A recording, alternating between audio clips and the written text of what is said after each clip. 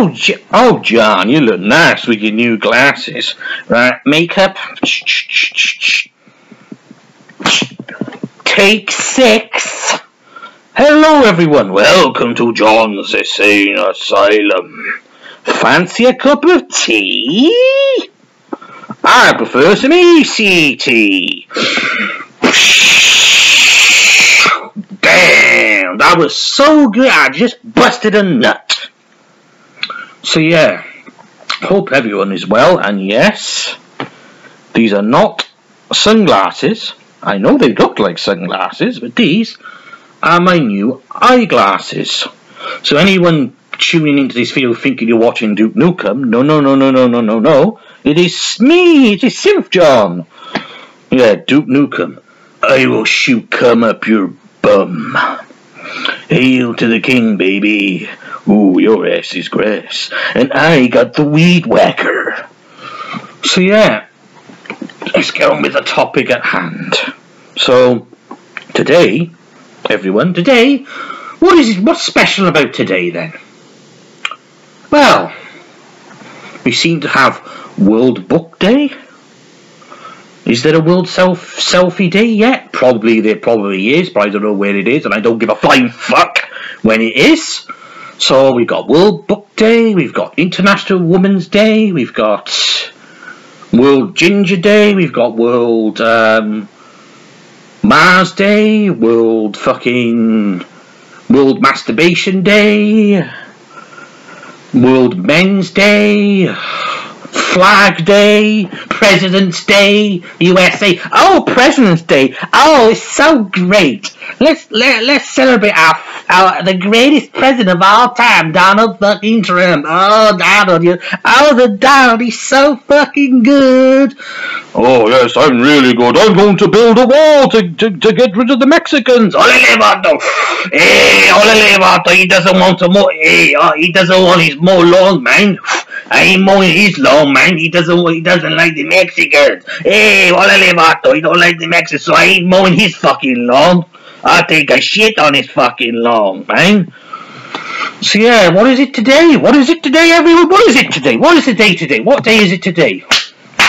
Can you guess what day it is today? It's World Bipolar Day! Yes, today is World Bipolar Day. March 30th, 2019. World Bipolar Day, brother. Bipolar Mania is one in fucking wild, brother. Oh, the following announcement has been paid for by the bipolar world order. You're talking about masturbating all fucking week. You're talking about being hypersexual like a fucking Tyrannosaurus Rex, brother. Oh, brother, brother, brother, brother, brother. So yeah, World Bipolar Day. World Bipolar Day. So beans it is World Pipe. Fucking I can't get the fucking words out.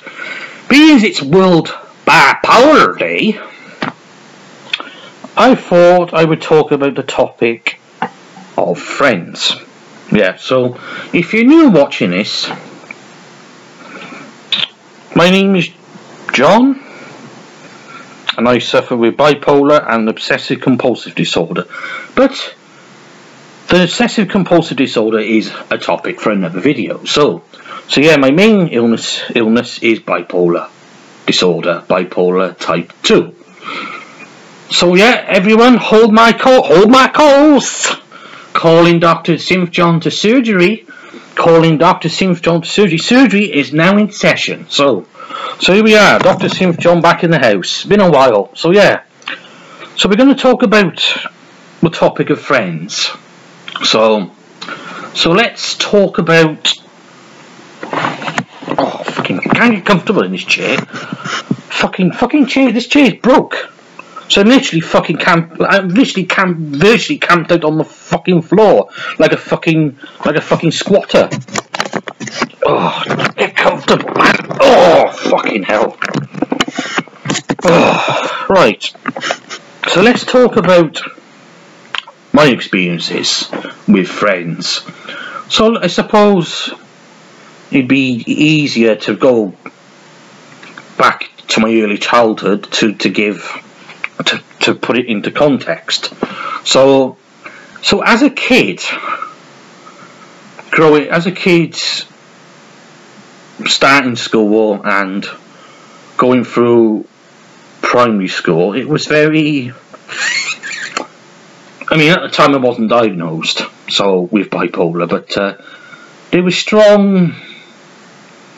You know, it was a it was a strong belief that I probably had ADHD as a kid.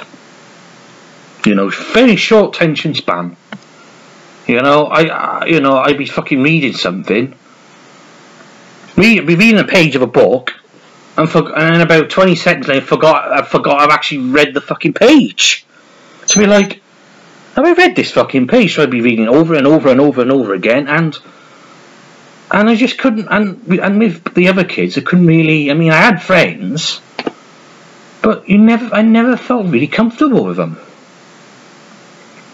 You know, you you felt you felt you felt you couldn't. There was a lot of reasons why I didn't feel comfortable with friends. Number one, I didn't feel I could relate to them. You know, I always I always felt that I had that outsider edge. You know, like an like an outsider looking in on all these people and just thinking, oh fucking hell, I don't like fucking people at all. You know, it was like you just couldn't, you just couldn't relate to anyone, and it just, I don't think the more, I think the more of it was frustration and boredom. You know, some of the, some of the, some of the lessons, like it's like if you're not good at a subject, you're going to be bored to fucking tears. You know, it's like I was never good, never good at maths or science, so it was like if you're not if you if you're not good at them and you're not really willing to get better or learn, you just you just switch off. You know, you don't speak and you don't switch off. And I barely talked in school. I barely talked at all. So people thought he was like a mute, like a dumb, like a fucking. People thought he was stupid. It wasn't that. I was just like, you know, a teacher would ask a question. I just look at it. I just look at them as if they got as if they I looked at them as if as if they were the local paedophile. I'd be like, you know, I'm I'm like I'm not fucking interested in this question. I'm not interested in the subject. I'm bored to fucking tears. So I'd be just looking out the window, just daydreaming about fucking daydreaming becoming a wrestler and fucking baby sharks. you know, just just fucking daydreaming and daydreaming and and teachers and kids think you were stupid. You know, they, they would think you're stupid. Well, he thinks, oh, he's not speaking because he doesn't understand. Not that. Just bored to fucking tears. You know, if, if I was back in, if I, the way the way I am now, if I went if I went back to primary school the way I am now, I'd be telling the teacher, I said, this fucking subject is fucking boring. Why am I so fucking interested in 3A and 2B? That means fuck all to me. That means it'll be fucking a, a fucking ancient lang ancient ancient language from from, from fucking Mars. You know, it's like what, what? Why am I? Why am I so? Why? Why is this? So in, why is this so? Why? Why do I have to do this? Free A add B add X algebra. I mean, thinking what the fuck? You know, how is that? How is that fucking? I mean, let's be honest. How many of us right? Unless you're a mathematician, that's your job. How many of us use algebra now? As long as you can count your fucking money, on a fucking well, on a good day I can fucking count to ten, but on a in a bad day I'm lucky to count to I'm lucky to count to three and a half. But it's you know it's like if the subject doesn't interest me, that that was the thing. I just I just sit I just I just fucking sit there like I'm just sat there like I was fucking stoned out my head. You know, like like, oh, you know, but if it was a subject I liked, I'd be all over it, you know, I'd be so passionate, I'd be like, yeah, oh, this is fucking, this is fucking great, this is fucking great, this is great, I'm enjoying this, this is great. But, uh, yeah, friends in school, it was just, you know, could never really relate to them. And, and then when you get bullied as well, you, so, you just sort of, when you're bullied, you sort of go into yourself you sort of go in like a like a snail goes into their shell. It's like you, you just you just think, well, I don't like the I don't like half of the subjects. I don't like school to to begin with anyway, you know, and it was just it was just it was just very frustrating. Very frustrating because I remember one teacher I had about three fucking times in primary school. You know, she she tried to, to, to get into my into my medical files. You know? You know, to see, to see to see if, if it was to see if I was well the the the the, popular consensus was that I, I had that I had that I was autistic in school. I, I was that was the consensus. Oh, he's he's autistic, but you know, I never did get. I don't think I don't recall seeing a psychologist at uh, at, at school. I don't recall. I don't know. I don't recall. I might have done. I don't know. I, I can't remember, but you know, I was very, like I said, very. I was very socially awkward, and and, and a lot of people that suffer with bipolar, they're very socially awkward. It's hard for them to make friends. You know, because you, cause you, because I mean, like I said, there's a lot of reasons. Number one, we don't like people to begin with. That's one. We don't like people. Number two, we don't, we can't trust people because you know, because of our paranoia, we find it hard to trust people because because of the because of the fear of being let down or stabbed in the back. And and I don't know, we like and, and another re I suppose another reason is we don't we are we enjoy our own company. I guess, I guess. But I'm like I said, I did have friends at school. But as you got as we got to high school it was like he sort of drift he sort of he sort of broke away. You know it's like I mean he will, primary school I did enjoy I did enjoy some of it certain aspects of it and it was and it was more it was like having a big in a way it was like having a big extended family you know, you'd, you'd sit there and you'd sit together in the corner and, and, and read books together and stuff. It, and it could be quite enjoyable, and you know, it, it, and it could have a nice atmosphere. But as you got to high school, you just you sort of like you just we just it broke away. You know that like that. It, it's just like it's just like it's like a part of me died when I got to high school. Like a part of me died, you know. It was because I was thrown into a thrown into a class where I didn't really know anyone. Didn't really know anyone at all. I only knew the one person. He was and he was a fucking dickhead. Didn't really like him. He was arrogant. He, he thought too much of himself.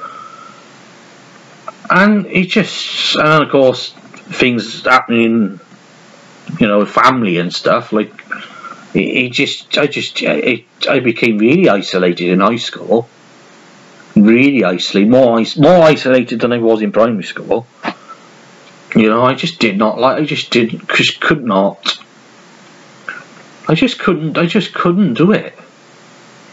Talk to people. I just could not do it. You know, it was just really, really difficult when you know, especially what I was dealing with at that at, at that time, you know, like a, a death in the family, very cherished uh, member of the family passing away. It was just, it was trauma. I think it was trauma, and I couldn't talk to anyone about it. I mean, that. I mean, in two thousand one, two thousand two, I don't know if there were counsellors in in high school. I'm not sure. You know, if somebody, if, if somebody British can tell me, or, or American even, if there was counselling in high school, let me fuck you know, because, you know, it, it was, because I, because I needed, I needed, I definitely needed to talk to somebody about it, because, because when you bottle, when you bottle things up, you know, but whether it's whether it's a small thing or a very very large thing, it can it can it can weigh on it could really drain you physically and mentally. You know it really can you know you, you know if you have a problem no matter how fucking small it is you know it doesn't it doesn't matter to me. It doesn't matter how small the problem is. If, if it's a problem and you want to talk to somebody about it and you, you know you, you talk to somebody about it whether it's whether it's I don't know, the Samaritans or, or, or a very close friend. It doesn't matter.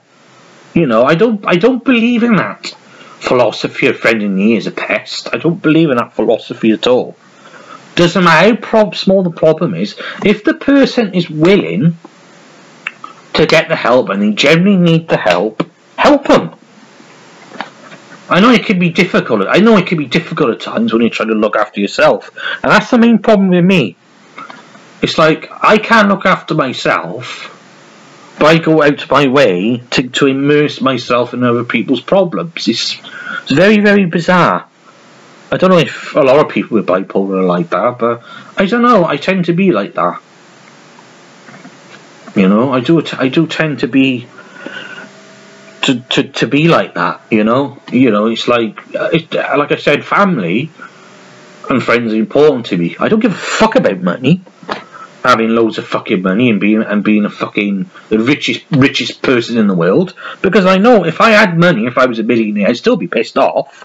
I'd still get depressed and, and suicidal and fucking and fucking and fucking horny as fuck. It wouldn't matter. I could be a millionaire, but I'm still a millionaire with bipolar.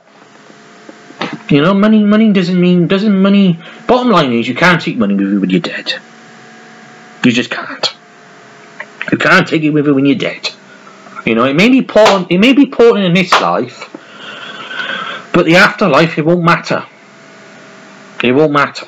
You know, so money, money to me, uh, it's not. Uh, obviously, money buys us clothes, money buys us food, money pays the bills, money, and if you've got extra money for holidays or whatever you like to do, then that's a bonus. I mean, I've got that. You know, I'm I'm happy with the money I got. You know, I've got money for food, I got money for clothes, I got money for fucking, I got money for bills. I'm, I wouldn't say I got a lot of money for very exotic holidays, but you know, you just, I'm just, you know, that's that's just the way it is, isn't it? You can't have everything, you know.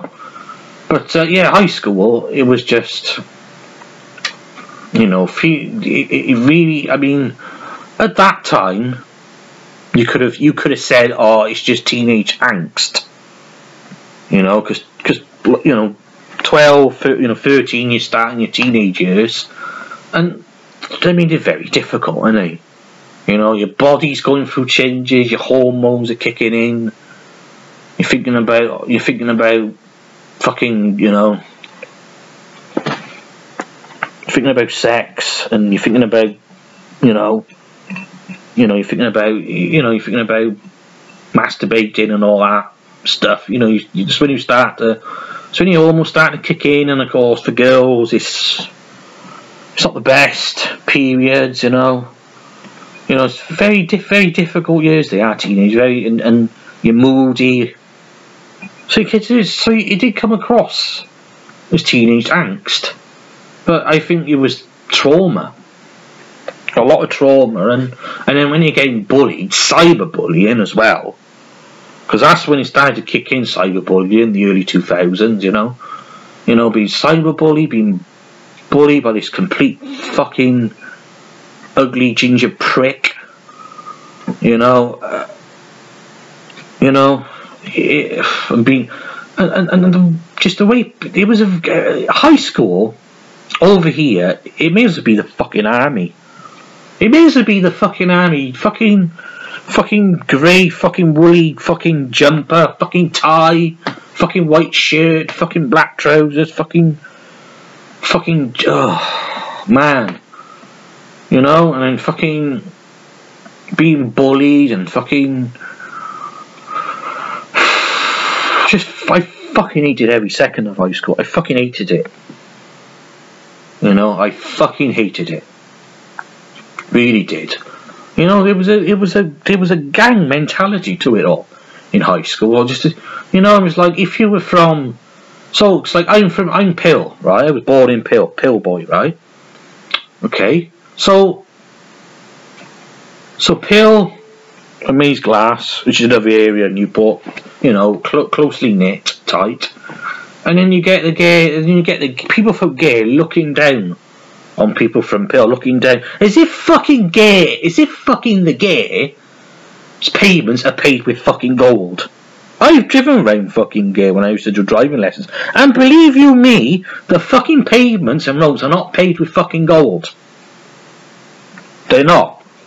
So, so that so for them to criticise people from Pale, you know, just fucking gang on it, and it's like, oh, oh, I'm the toughest from this area, or I'm the toughest in my area, I'm the toughest in my street, blah yada yada yada yada yada. But you couldn't fucking probably couldn't, they probably couldn't hit a fucking a, a, a fucking elephant with a fucking sledgehammer, you know? Do you know what I mean? Just that fucking mentality. So it's been half. I spent half. I spent half the time in high school just on my own in the LRC Learning Resource Centre. We just use computers, and I used to just to just to make um, PowerPoint presentations and stuff. You know, I used to do that. I never used to play games much. You know, everyone else would play games in there. Very, very people would very, very do work in there. Very rare. You know, they just play games, and uh, and me, I just do. I just, you know, me just didn't didn't want to go with the flow. See, I didn't want to go with the flow with other people, you know, and just do my own thing. You know, and it's like, and, and you know, and, and lost a lot of friends in high school. Lost a lot of friends, but then again, were they friends to begin with? You know, that, that's my argument. That is my argument because because because the one guy, Luke, you know, in primary school, he was probably the you know the, the one of the nicest, one of the nicest people you could ever you could ever meet. And as you got to high school, as he got into um, wacky backy, he just his whole mindset, his outlook on life completely drastically changed, and and that's peer pressure. You know, the the peer pressure, you know, or you know, or I gotta, you know, you know, I gotta have I got to have a I got to have a girlfriend before everyone else in high school in my class, or I got to smoke weed, or I got to I got to I got to I got to smoke I got to smoke cigarettes, otherwise I won't be hip. You know the those you know the peer pressure. You know the peer pressure got to me, never got to me really. I mean, I did try weed once in school. I thought because I smoked because I smoked. I think it was was it a blunt. I can't I can't remember what I smoked. I definitely smoked. A, I remember smoking it with him, and I thought I felt really dizzy. I felt really dizzy, and I started to talk really, started to slur my words. So it was like something. So it was just like fucking, fucking a, a Louis Armstrong record on fucking on fucking 33, you know, 33. It's like going, oh,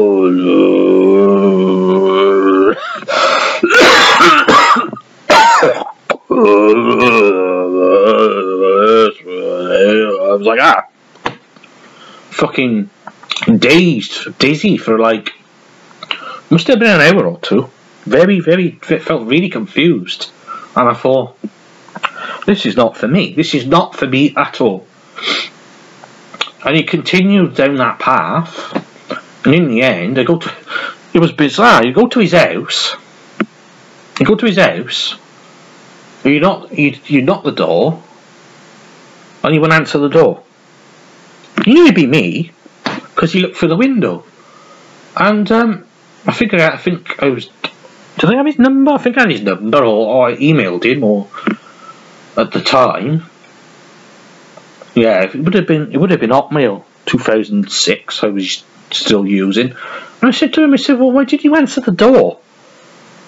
Oh, I thought oh, I thought it was the police, and I'm like, "Why would the police be after you?" You know, I asked that question. I said, why would the police be after you?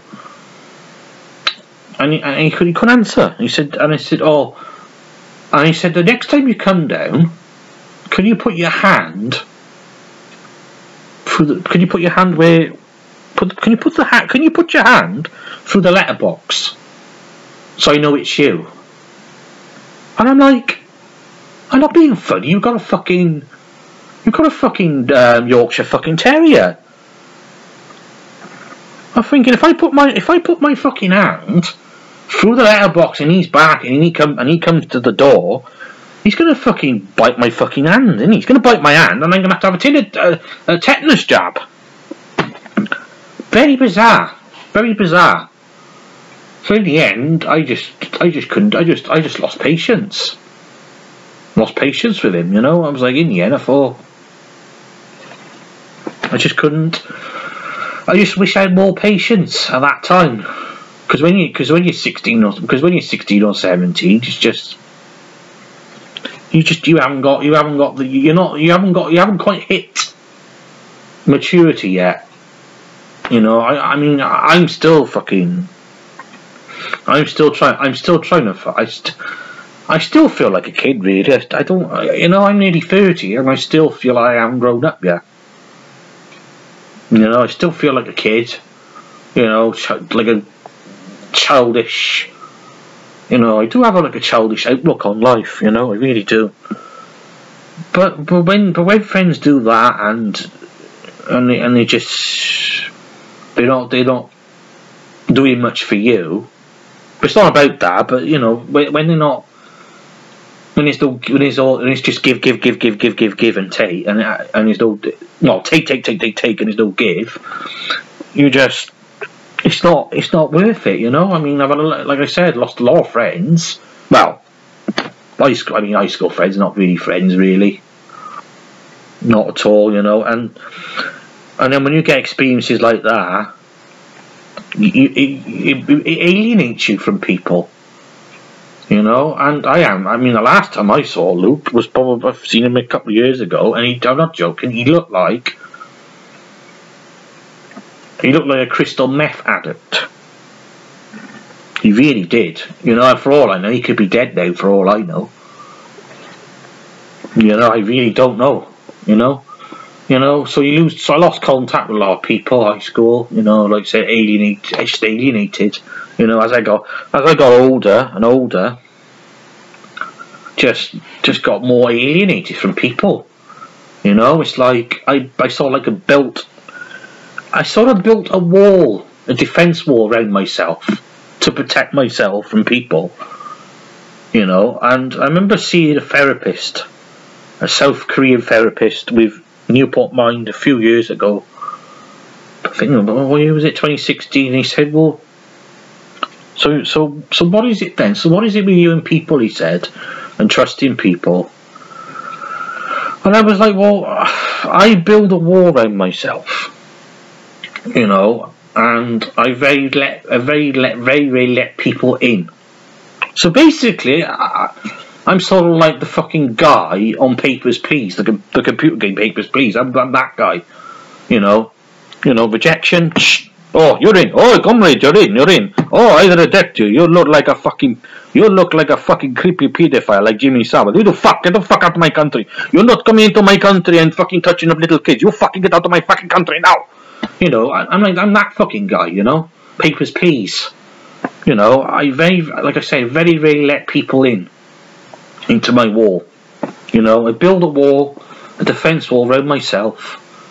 Basically, to just to protect myself and people, you know. And and, and when I do let somebody in, in into the wall, I damn make sure that they don't fucking let me fucking down. And it's been and it's been, you know, and it's like caught my college years. College years, they they they were awkward as well. They were very they were awkward. Couldn't relate couldn't relate to anyone in college and well, the music course I did, the people were pretty cool, you know, but it, it took a while with a lot with a lot of them to open up and to talk. Really, it was just, and then when you're having issue, and then when you're having issues with the lecturers, you know, oh, play with the gear, but play with the gear, play with the gear, but oh, play with the gear. Oh, I'm stroking my mixing desk, boy. Oh, but oh, but oh, but but but but I'm I'm stroking the mixing desk like people stroke pussies. Oh, I'm stroking my mixing desk. Oh, oh, fucking hell, boy. Oh, put your in there, play with the gear, get stuck in. I'm thinking, so this fucking guy, this motherfucker. You know, some some some people take a wife to bed. This motherfucker takes a mixing desk to bed, a digital mixing desk. You know, not I'm not beautiful analog, no, digital mixing desk. Oh, play with the gear, but oh, I'm just stroking. Oh, I'm just stroking. Oh, play with the gear. Oh, I'm stroking the mixing desk. Oh, I'm gonna play with its knobs now. Oh, play with the gear. Play with the gear. Play with the gear. Play with the toys. Get stuck in. Thinking, fucking hell, crazy, fucking crazy. So yeah, college years were like, ugh, you know, it's, it's only when I it's only when I started working. It's only when I started working in the Salvation Army is where I start. I made. That's I made really good friend. You know, Stephen Trumlett, fucking legend. You know, and and I've known him. I've known him nearly ten, 10 years now, and we've only had in in those ten years, we've only had one really bad argument, which is pretty good for me. Because you get some fuckers, all they want to do is fucking argue with me all the fucking time. You know? But he's, you know, and I don't expect you know, I don't expect him. I mean, he hasn't got a lot of money, and he, you know, but that doesn't matter to me. You know, it's like I go down there, I buy him donuts. You know, I don't say to him, "You owe me two pounds for these donuts." Never, never, never, never, never, never, never, never. But never do that. Not on my worst day. Not at all. Never. You know. You know, and it's like I don't know if it's like this with a lot of people, because each person with bipolar, even though we got the same illness, we we we, we suffer with the same illness, but it, it, uh, affects us in different ways. But for me, once you make a friend, you know, you become loyal to your you become loyal to your friends very very quickly, you know. And if there's a problem, you just try and resolve it as best you can. You know, it's no good. It's no good shouting at the person. It's like it's no good shouting at the person by or grow up or fucking or, or snap out of it because anyone that says that is quite frankly they got issues themselves. You know, it's like you you know, because I've had that a lot over years. People people judging you for things I've done and or I haven't done. You know, people judge you and and and that in a way doesn't help how you perceive people. Because if you're being constantly judged, you sort of like you sort of like become well. Well, you're judging me, so I'm not trying to judge you. You're judging me, so you know it's very it can be very difficult. You know, and and for people and and with other people that suffer with bipolar, it's, it's hard for them. It's hard to it's hard for them to make friends and relate to people because we got so many issues. You know, whether it's anxiety or you're paranoid, you know, you're worried you can't trust you can't worried you can't trust people and, and you're worried and you're worried that, you're gonna be you're gonna be right about the person, that they're gonna stab you in the back and they're gonna be horrible to you. And, and I've had that, you know, I've had that. But I've had there's been occasions where I've been wrong about people and happily admit that, you know, but you know, it's like you know, loyalty to my friends is important. You know, it's important. You know, and, and if they have a problem, no matter how small it is, you try and help them. You try and help them as best you can. You know, but um, it's like you know, it's like with a lot of people that suffer with bipolar. Like I said, you know, it's like. Uh, God, I'm running out of steam. Yeah, fucking hell, 34 minutes. You know, it's like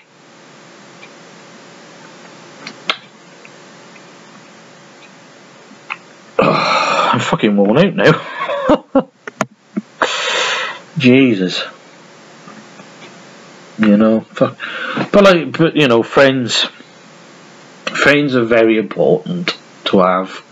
You know, it it can be difficult to make them, but once you make a friend, you know, you know, just do what you can for them, and But if you make a friend and they, they basically just they just you know, it's like if you know they're full of shit, but you want, but you're thinking, well, I gotta, I gotta give them a chance. You know, be more trusting, give them a chance, a chance. And if they continue, if they continue to prove you right that they're full of shit, you cut ties with them. You know, you know, because you know it's like no, no person is worth, no person is worth too much stress. Where, you know, because because if it's affecting you, you know, if if your friends' problems are affecting you, you know, badly, you know, you gotta take you gotta take a break from it, you know. But if they if if you if if if you feel that they're full of shit, and they continue to let you down, and and because because because I find now with a lot of people that I've that I've experienced over the years, they're very manipulative. They can be very manipulative, and they and basically they they, they just want to take they they what they take what they can from you.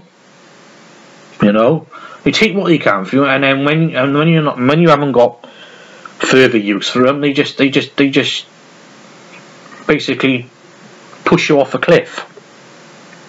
You know, push you out a cliff without without a without a second thought. And you don't need and you don't need friends like that. You don't need friends like that. Especially, with bipolar, you don't need friends like that. You know, you need you want good friends that'll be there for you.